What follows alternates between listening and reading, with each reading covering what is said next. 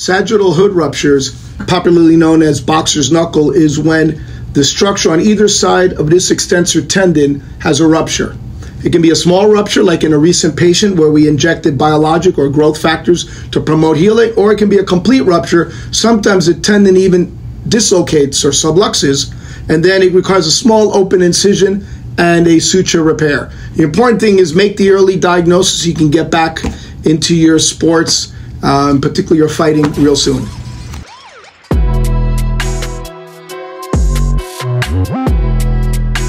Thank you.